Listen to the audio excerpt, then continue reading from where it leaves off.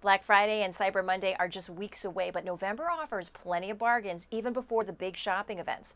Deal News recently rounded up some of the items you can save on as November sales get underway. Now, Halloween is this weekend. You can look for sales on everything from costumes to decorations as retailers look to clear out inventory. And early in the month, look for Veterans Day sales. Deal News says last year there were significant savings from retailers from Macy's to Eddie Bauer. And with holiday baking getting underway, watch for specials on things like pumpkin, green beans, and other staples. And staying in the kitchen, check your cookware. If you update your collection, November is a good time to find bargains.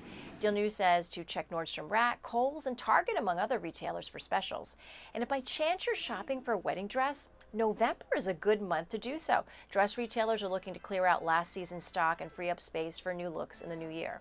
You may find discounts from as much as 40%, maybe even double that on the clearance racks. And now's the time to find savings on seasonal products like pumpkins, sweet potatoes, and winter squash. For more on where to find November savings, check out the full story at dealnews.com.